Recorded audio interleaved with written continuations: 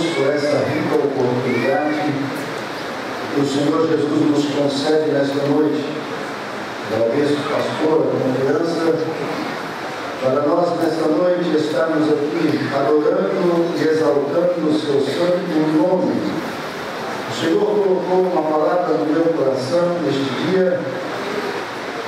E eu louvo a Deus porque tudo que já foi dito, ouvimos nesta noite, é sinal que Deus está neste lugar. Se Deus está neste lugar, Ele tem uma bênção para mim, para você que entrou aqui hoje. Você não saiu em vão da tua casa. Você veio no lugar certo. Porque aqui Deus fala conosco. Aqui Deus alegra os nossos corações. Aqui Deus fortalece as nossas vidas. Aqui nós temos o abrigo dele e a proteção dele. Por isso, louve a Deus nesta noite. Vamos tocar em Jesus, porque tocando nele, eu e você sairemos daqui abençoados nesta noite. Abra sua Bíblia no livro de São Lucas, capítulo 8, versículos 43 ao 48.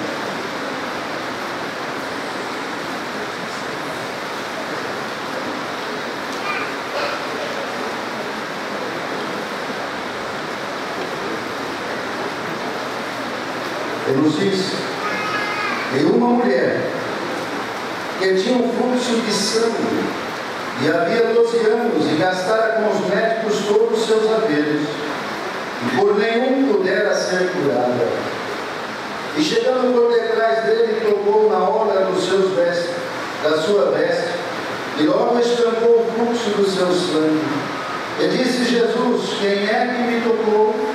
E negando todos, disse Pedro que estavam com ele: Mestre, a multidão te aperta e te oprime, e dizes: Quem é que me tocou?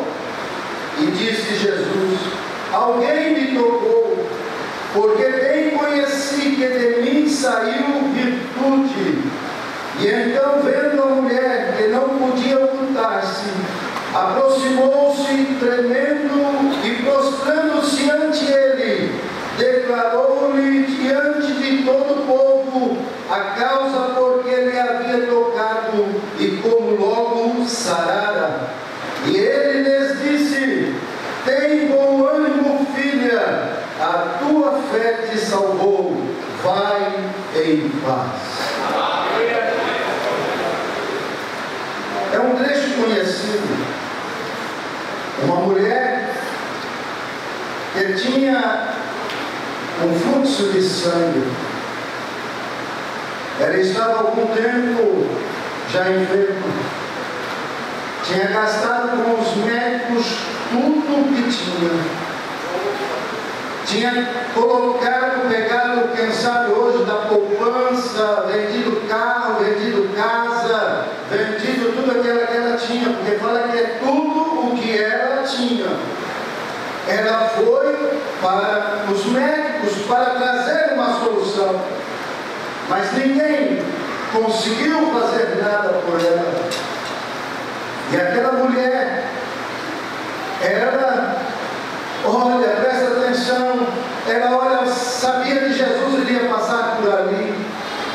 E aquela mulher correndo no meio da multidão, tocou na orla dos vestidos de Jesus. E quando ela toca, imediatamente aquele problema foi sarado, foi estancado. E Jesus para alguém me tocou. E os seus discípulos, como mestre? A multidão é grande. Alguém me tocou porque de mim saiu virtude. Saiu algo extraordinário do nosso Deus para abençoar aquela vida. E aquela mulher Senhor, quem é que me tocou? E ela se aproxima. Fui eu, mestre. Fui eu, Jesus. Ah, mulher, a tua fé te salvou. Nesta noite eu quero falar de sete obstáculos que aquela mulher encontrou para tocar na hora de Jesus e para ser curada. Primeiro obstáculo é a fragilidade.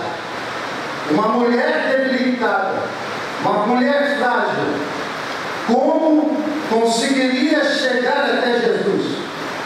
Quem sabe eu e você temos uma fragilidade aqui nesta noite. Eu não sei qual é a sua fragilidade, mas você precisa vencer esse obstáculo que é a sua fragilidade. O segundo obstáculo que eu vejo aqui, nesta mulher era o preconceito. Uma mulher, o que é preconceito? Preconceito é eu fazer uma tirar uma, uma base de uma pessoa sem ter aquela certeza. Eu conversar com alguém ou olhar para aquela pessoa e dizer que ele é isso ou aquilo, mas eu não sei, eu não tenho. Aquela mulher estava denegrida, ela estava longe. Quem denigre alguém, o seu semelhante, a uma alta e baixa estima, aquela mulher perdeu tudo. Sabe por quê? Qual era o preconceito daquela mulher? Quem aqui pode dizer o nome dela para mim? Ninguém sabia o seu nome.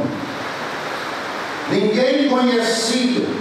Todo mundo via aquela mulher, mas ninguém perguntou o seu nome.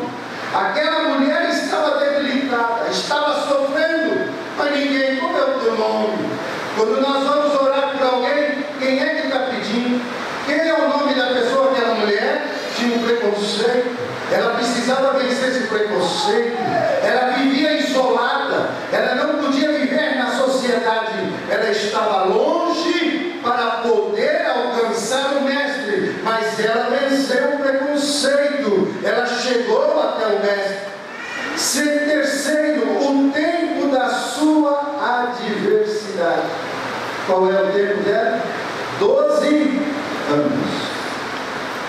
Quem sabe você está aqui hoje. Eu não sei qual é a tua luta. Quanto tempo faz que você está passando esta luta? E o tempo da diversidade. Você precisa vencer esse obstáculo. O paralítico do tanque de Bethesda, 38 anos, estava à beira da cura, estava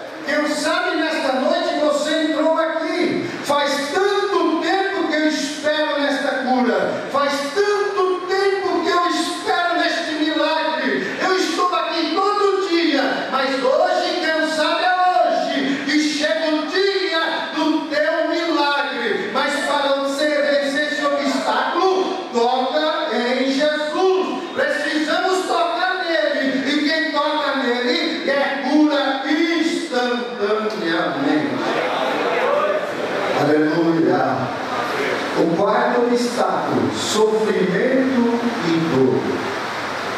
Imagine o seu sofrimento. Que dor aquela mulher estava tendo. O que é sofrimento? O que o sofrimento faz? Sofrimento paralisa. O sofrimento neutraliza. O sofrimento não faz eu caminhar nem você. Nós homens, as mulheres não, quando estão com dor ainda estão trabalhando. Mas nós homens parece que somos mais frágeis. Acontece alguma coisa, amor. É verdade. Está doendo aqui, eu vou deitar um pouco, eu vou cochilar um pouco. Mas aquela mulher não parou, independente da dor que ela estava sofrendo, independente da situação que ela estava, ela estava olhando para Jesus. Jesus vai passar, Jesus vai passar lá. E na hora que ele passar, eu vou tocar. Toque em Jesus hoje. Hoje é noite que você vai tocar nele e você vai ter a sua saúde estabelecida.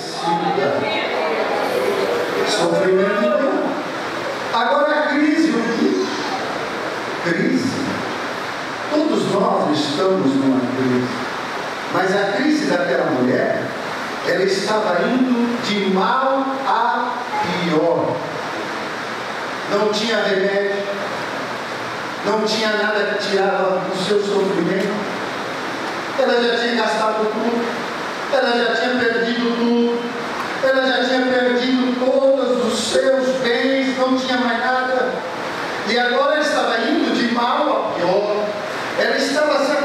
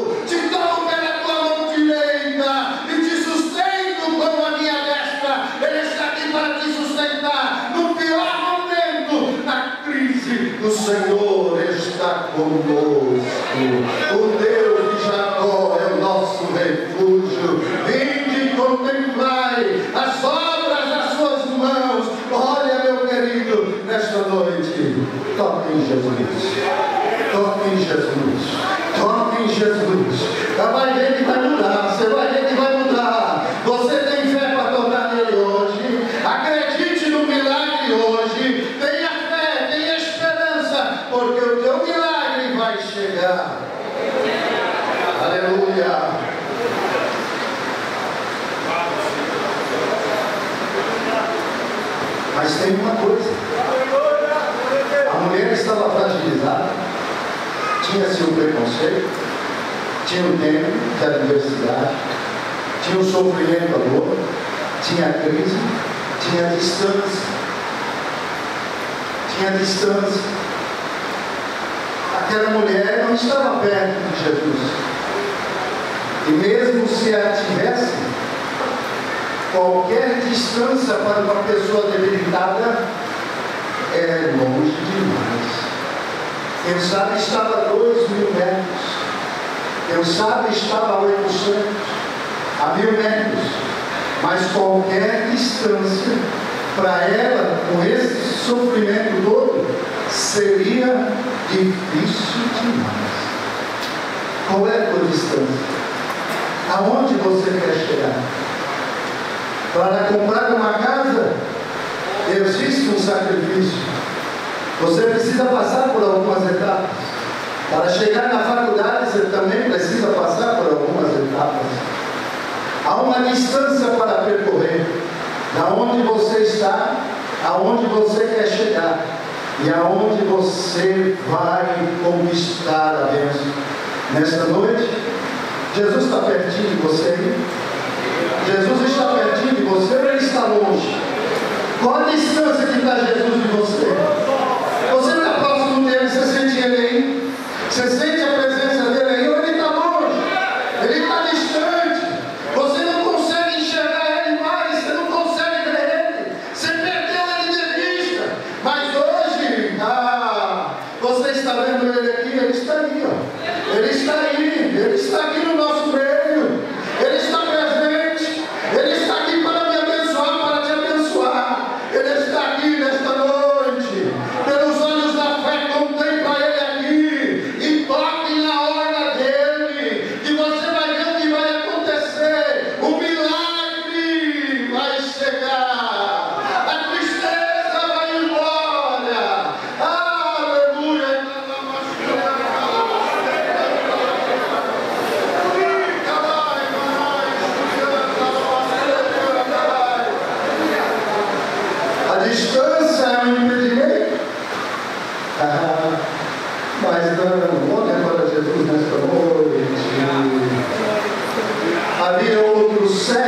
sinal, sétimo obstáculo. Qual era? Multidão. Ah, e agora? Eu venci esses seis, falta um. Mas era,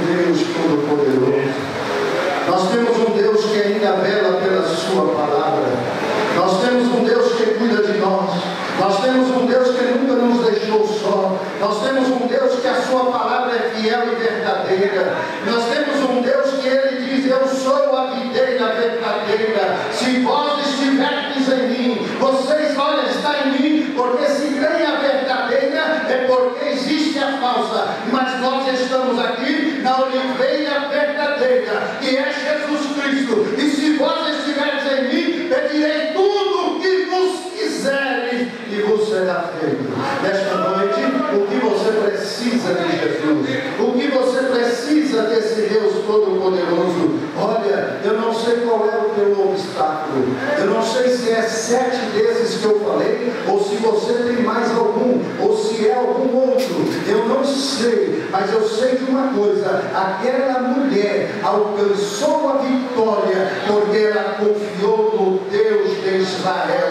E se você confiar nesta alcançar a vitória. Olha, eu coloquei aqui seis coisas para que nós alcançamos a vitória. Primeiro sonho, aquela mulher queria ser curada.